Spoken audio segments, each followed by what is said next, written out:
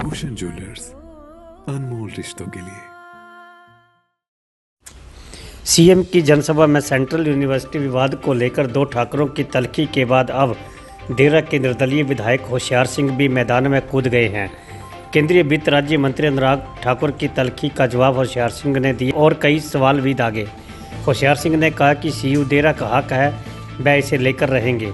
उन्होंने अनुराग ठाकुर से सवाल किया है कि इसे धर्मशाला से न जोड़ा जाए। उन्होंने कहा कि मुख्यमंत्री जयराम ठाकुर के प्रयासों से केंद्रीय विश्वविद्यालय का सपना धरातल पर उतर रहा है। विधायक ने कहा कि केंद्रीय मंत्री दिल्ली हाई कोर्ट के आदेशों को भी माने।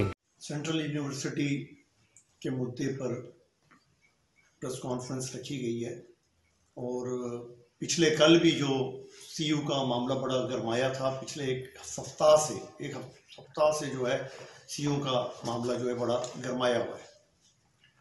और तरह तरह की बयानबाजी हो रही है तरह तरह की बातें हो रही है। तो मैं आज आपके माध्यम से बताना चाहता हूँ कि हकीकत क्या है?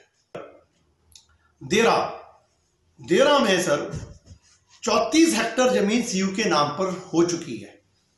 Thirty four hectare is already eighty five acre साढ़े सात सौ कनाल। तो इस मुद्दों को मैं समझता हूँ कि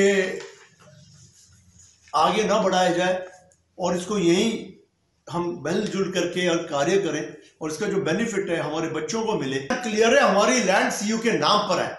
और माननीय मुख्यमंत्री जयराम ठाकुर जी के प्रयासों से ही 2018 में जो हमें क्लियरेंस मिली, बची हुई नब्बे हेक्टर की, वो मिल चुकी है। 2018 में मिली वो।